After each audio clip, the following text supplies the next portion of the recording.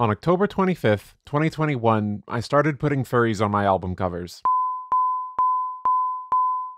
Well, I'd already done it a couple times. I seem to have had an aesthetic yearning for my music to be represented with furries since at least as far back as Christmas 2018, when I released Little Spoon. October 25th, 2021 is when I made it official, though, uh, when I bit the bullet and decided to fully commit to furry imagery. And it's gonna stay that way, so stop asking. It had been a long time coming. Releasing The Flowers of Robert Mapplethorpe wasn't just a pivot to a style of art and presentation I liked, it felt inevitable to me. It felt like if I was going to continue being a musician, this is just what I had to do. I don't think I even knew why. I assumed it was because I'm a furry myself and I wanted to participate in the fandom in my own strange auditory way. But for some reason, I'm still thinking about it. Hmm. I was so proud of that little offbeat bedroom pop album from Christmas 2018. I was calling it my spiritual debut at the time. The first time I remember everything just kind of coming out the way I had envisioned it before I even laid down the first note of MIDI. The 30 odd releases I made before it were just practice, I thought. And now I can finally call myself an auteur. I also, realistically, expected that I'd eventually grow far enough past it that I'd begin seeing it as amateur hour just like everything else, but that didn't happen that's still where I feel in my heart of hearts that my real discography begins. You have my blessing to marathon my discography starting at this point and no earlier. Only recently did I notice the coincidence that Little Spoon is also the first album I ever made with furries on it, of a sort. There's something there, I think. Something I felt got fulfilled by the presence of these little fuzzy guys on the cover. I gave him names too. Uh, the wolf's name is London and the wombat's name is Max. I even wrote that in the description so you'd know. Max was actually my persona, but I didn't tell anyone at the time because I was young and not brave enough to be myself. Now, this is gonna sound a little weird, but when I made this, I was trying to do something a bit like Ween's album The Mollusk. You know, the one that played at the end of the SpongeBob SquarePants movie? Manager, this is the greatest day of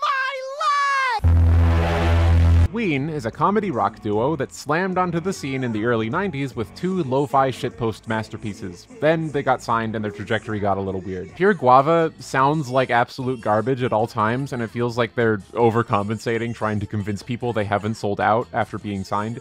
Uh, it's still one of my favorite releases of theirs, though. Like, it's so fucking stupid and crass, but still somehow catchy as hell on multiple occasions. It's also very trashy and politically incorrect, if that's important for you to know. Uh, Don't Get Too Close is a song about in.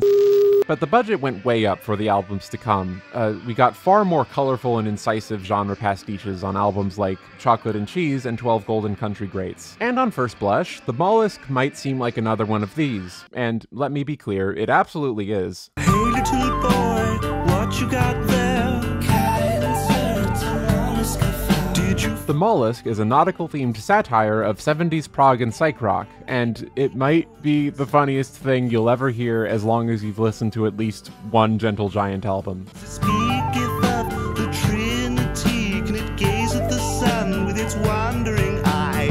It's not even all that heavy on the punchlines, it's just that the vibe of it is simply gut busting. It's unexplainable. It somehow perfectly gets across a sense of vintage faux intellectualism. It is painfully apparent that the entirely fictional 70s band being depicted here absolutely thinks they're blowing your mind with how cool and trippy they are, but it's just so dumb. All the time. This record positively stinks of pot. Summon the Queen!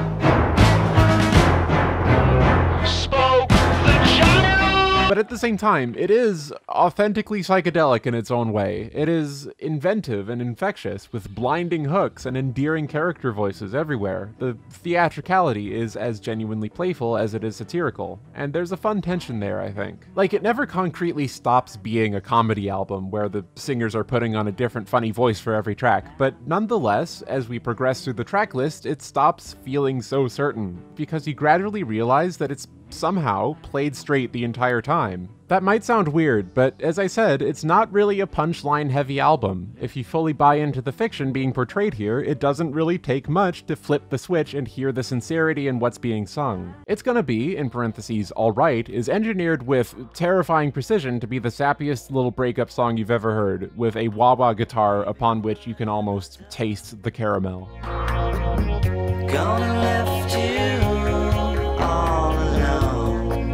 But it's also actually kind of touching, you know? Like like the only really explicitly funny thing about it is that it comes right after the Blarney Stone. Get off my ass, you wee bitty fuck. Catch me singing along to this one with the boys, am I right? It's shockingly easy to get invested in It's Gonna Be in parentheses alright as an actual breakup song, is what I'm saying. This album is performing some kind of alchemy where it is both cynical and sincere in equal measure, and the longer you spend with it, the more sincere it begins to sound. Even though, I must add, the album doesn't radically change over its runtime. There's no grand con being pulled here. The Mollusk is, to put it simply, written with the understanding that the greatest comedy won't let its characters know they're in a comedy, and as a result, there is genuine character, pathos, drama caked within this strikingly incisive parody of 70s rock if you're willing to get wet. And this all comes into focus with the final track. Everyone who's heard this album knows what I'm talking about. It's She Wanted to Leave. It's one of the few times that pure audio has brought me to tears.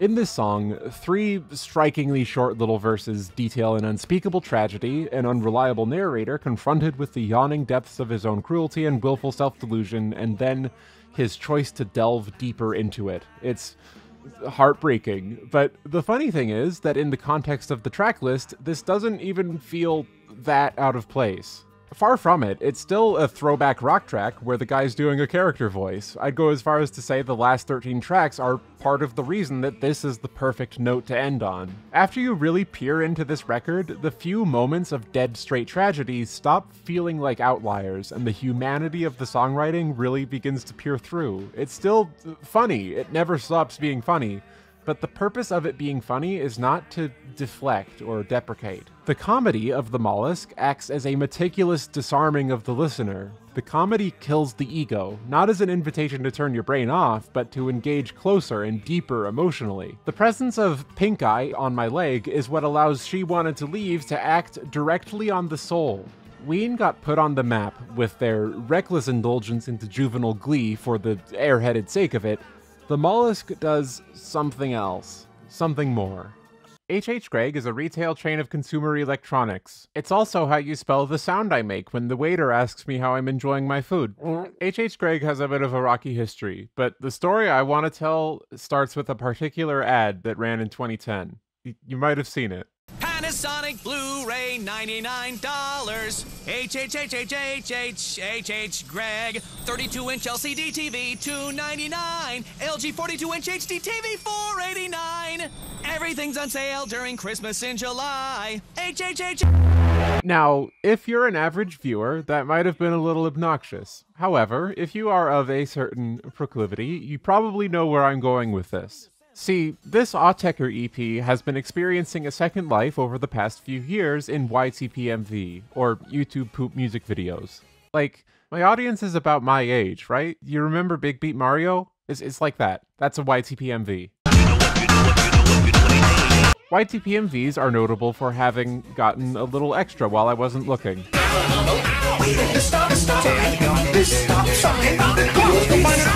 With this context, it actually makes a lot of sense that this particular ad became one of the primo hotspots for funny musical edits. It's got a comedically uncanny but still expressive protagonist, and the audio is sung, like it doesn't require ass fuck loads of pitch correction to sound like an impassioned singing voice. It has a great deal of plasticity in that way. Anyways, the second chapter of the story begins with some hapless chap by the name of Hydro Dalek, who made the transcendentally inspired decision to mash up the H.H. Gregg Christmas in July ad with Doing It Right by Daft Punk. Everything's during Christmas HHH Greg. Panasonic Blu-ray, $99. 32-inch LCD TV, 299. LG 42-inch HD. Doin is a dangerously addictive meme video. I've never seen anything like it. The songwriting here is a pristine serendipity, like a snowflake. The lyrics scan so well that it supersedes the original song in my head.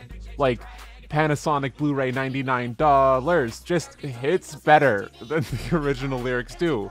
The lines spill into each other with unstoppable momentum. Everything's on sale during Christmas in July is repurposed as a wraparound. Christmas in HHH Greg, beginning each new loop with a bang. It's the kind of songwriting that I've been trying to perfect for the past five years. It- this is a Max Martin level hook. And this idea was again repurposed and remixed by the actual subject of this tangent, one Jerry Terry.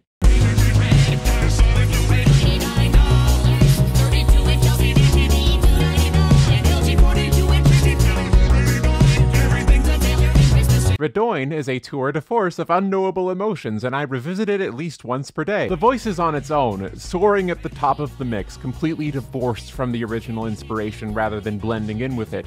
The lyrics are boomed at us via typography on a cosmic backdrop, like this is a divine message that we are unequipped to comprehend. But at the same time, the atmosphere is intimate nostalgic, a bygone era of staying up until 2 a.m. and seeing the forbidden programs on TV, strange infomercials that seem to go on forever, a representation of the unknowable profundity with which our sleep deprived young minds perceive the world beyond the threshold of bedtime. That's not the main thing I want to talk about here, though. Uh, I detailed this backstory because I want you to do a little audience participation.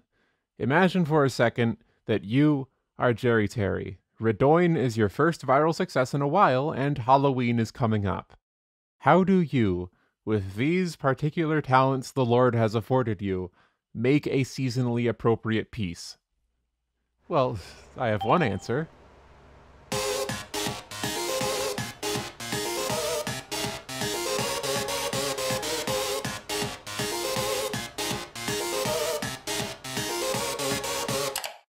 The Boys Are Back in Town, in parentheses, to kill you, is something I would assume was inspired directly by the hands of God had I not done a background check on the artistic lineage behind it. It has such a precise vibe that I haven't seen replicated before or since. I am obsessed with it and maddened that there isn't anything like it.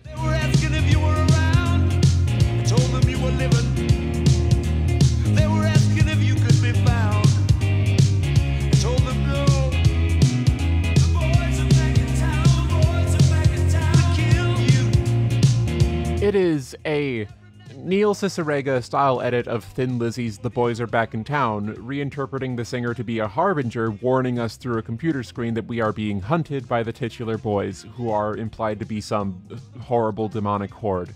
By unknown means, the boys seem to be hijacking the incoming message with their own interjections, and it's fucking scary.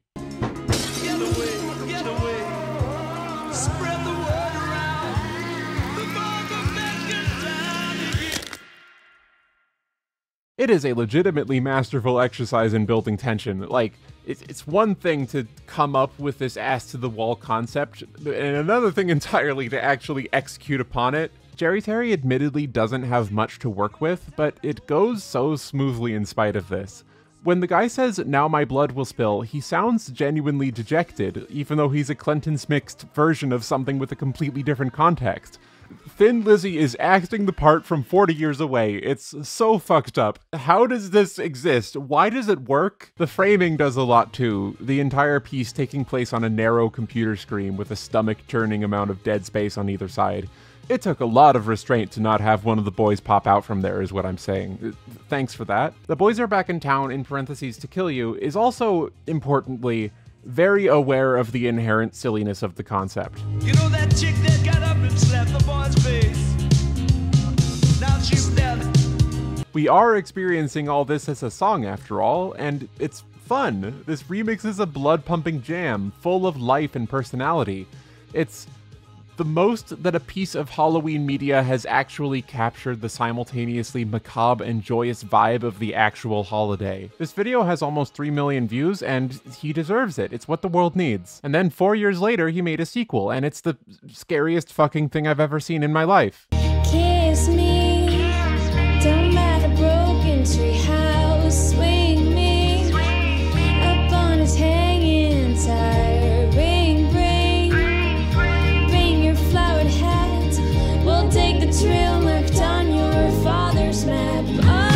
Rather than a Neil Cicerega style edit, Kiss Me in parentheses Kill Me is a Minecraft parody style rewrite of the classic song by Sixpence None the Richer. This is what I actually wanted to talk about here, so now's your chance to check it out. It's a treat. The degree of freedom offered by this shifted medium is more than fully utilized. The lyricism drips with genuinely poetic detail. Our star actress gives a knockout performance as a lovesick adventurer taken by a sparsely understood transformation. And he, he, he reharmonizes the song. Wait, wait. What was your father's name? Why does his map feel just like human skin?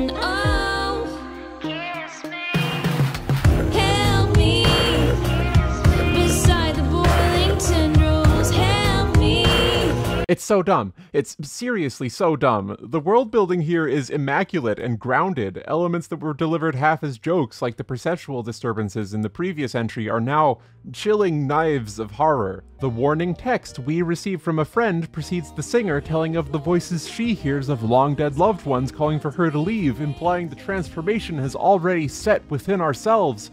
It would feel so viscerally real, so perfectly immersive, if not for the singularly, blindingly bright artistic choice to deliver the entire story to us in song. Not just in song, in.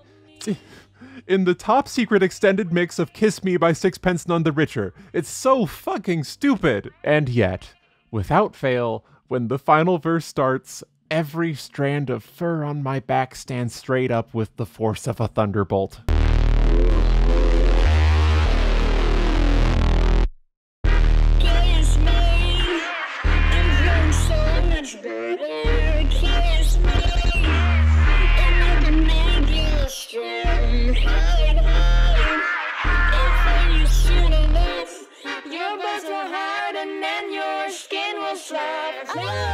God, it just goes so hard. Yes, my better veins. Let me explain. A second pain gives way to pleasures only dreamed of. So kiss me. I wish I could go this hard. I sincerely do. I wish I could have an idea this bold facedly stupid and play it this fucking straight and this fucking well. The boys are back in town, in parentheses, to kill you, was self aware. This is something else. Something more. I've opened up the path. You wake up from this scary dream and laugh.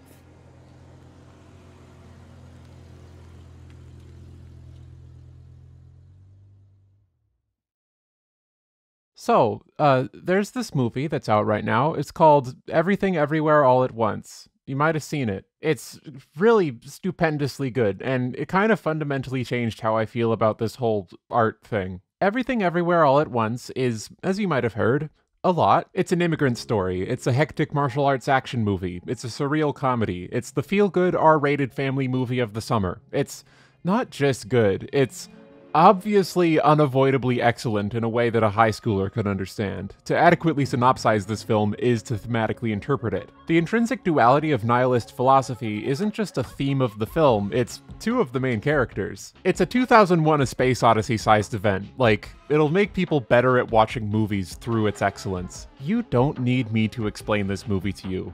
Rest assured, you'll get it. You'll go home and write a video essay about it. There are going to be so many fucking video essays about this movie. Anyways, everything everywhere all at once kind of spelled out what I've been trying to find the words for my whole life as an artist, and it's why I started working on this video. See, this film is deeply profound in its theming and character work. It is spectacularly and intently directed, and it is just so dumb. It's so dumb, constantly. It never stops being dumb. It's a million dollar Smosh sketch. It's 50 Geico ads strung end to end. It frequently delves into legitimate Rick and Morty humor. It's dumb all the way down. And yet, it is not cynical. It is as far away from cynicism as you could possibly be. There is no, well, that just happened moment, Sir or Ma'am Letterboxd reviewer. That was you, actually. The whole movie is played completely sincerely. Every stupid joke comes back multiple times, each time louder and dumber, until suddenly we're at the climax and each thread is concluded at the same time with universe destroying emotional clarity. The brazen stupidity of this film isn't a distancing tactic, it's the exact opposite. Everything Everywhere All at Once is so human in its dumbness that it hurts. And it isn't a head empty, wholesome vibes movie either. That's just another slightly gayer form of ironic detachment. Everything Everywhere All at Once really wants you to think about it. The symbolism in this film is so loud, so bright, it's difficult to look away from it. The duality of the bagel and the googly eye permeates this film so pervasively as if it's part of the color palette. They were one step away from just showing the symbols forming the sides of a yin yang. Every alternate universe is differentiated not only with setting, but with filmmaking. The universe where Evelyn has a reconciliation with her alternate husband who never married her is caked in film grain and judicious undercrank. The Clair de Lune hot dog finger universe is represented with soft romantic pinks and yellows. Everything Everywhere All at Once is deeply in love with the medium it's in. What I see in this film is not crude, blunt humor as a method of distancing, not pastiche as an invitation to stop caring, not larger than life emotions as permission to turn your brain off. It's an intimately disarming vulnerability. Honesty, humility, yet still with an unstoppable self assuredness. It's a leap of faith, a leap towards bliss and catharsis, a single minded persistence of your own divine mission in spite of everything. This is beauty. This is the sublime. This is art. This is why I'm a goddamn furry. The author behind Three Fifths of Echo, goes by Howley, has gone on record saying that writing the ending for TJ's route ruined him emotionally and is the primary reason he outsourced the remaining two routes to his buddy. This afforded him the time to start work on Adastra, an indulgent piece of slow burn erotica about being kidnapped by a himbo wolf alien, the furry writer's version of holding up in your room with a pint of ice cream. But then, and I know I'm not in Howley's head, but I think he quickly realized that he simply could not leave it at that. He had to ask why you were being kidnapped, what this would mean for your relationship, what strife and heartbreak would result, what would have to happen in order for this wolf to earn your trust and affection. It is simply not in Howley's divine quest to just make the gay furry version of a beach episode. And instead of hiding away from his destiny, shielding himself from God's light, giving the player easy answers and hot yiff, he makes the most characterful and cathartic piece of furry porn in existence. It's challenging, confronting, and still incredibly indulgent and deeply aware of its place in furry literature. I seriously can't fucking imagine what Divine Beauty would look like if not exactly this. I would detransition for Amicus. This is normally the part where I tell you to go play it because it's free and also like 12 hours of reading, but it's also definitely furry porn. It's not something else disguised as furry porn. There is illustrated dog dick in this game. Counter disclaimer the writing in this game is so transcendentally good that you should play it anyway. Both Adastra and Echo hit me in ways that no other story has, but there is nary a hint of detraction coming from the simple fact that almost everyone in these games is an adorable fuzzy animal person. There is no acknowledgement towards this unbearably bright concession that was made before the games even existed due to their status as fandom work. And why would there be? The furry aesthetic, as a whole, is a concession towards the symbolic, the sensory, the ever so slightly autistic. When I put furries on my album covers, I am undeniably precluding myself from being taken seriously, but it is this exact tension that I hope serves to communicate my sincerity. I find the aesthetic to be disarming in and of itself, beyond it just being an honest part of me. It is an intentional weapon against the normal defenses that go up when most people are confronted with different or difficult art, that I'm trying to outsmart you, that you'll be seen as dumb if you don't applaud it. I just think it's a little harder to do that when there's furries on the cover, you know? I'm disarming myself and hopefully disarming the listener a little bit too. It's not permission to stop taking me seriously. God knows, I still take myself very seriously. Jesus, calm down. My furry album covers are, hopefully, giving permission to the same part of you that is permitted by the satire of the mollusk, the musical fervor of Kiss Me in parentheses Kill Me, the blinding sincerity of Everything Everywhere All at Once. The part that knows this is ultimately a performance. The part that wants to stop observing and start engaging, participating, critiquing, feeling, consciously, effortfully, maturely. This is what it means to be on the side of art. This is what I'm striving for. This is the sublime humility and confidence that I wish to embody in myself. Whether I succeed or not is up for you to decide. My name is Avery. I'm a dog. What are you?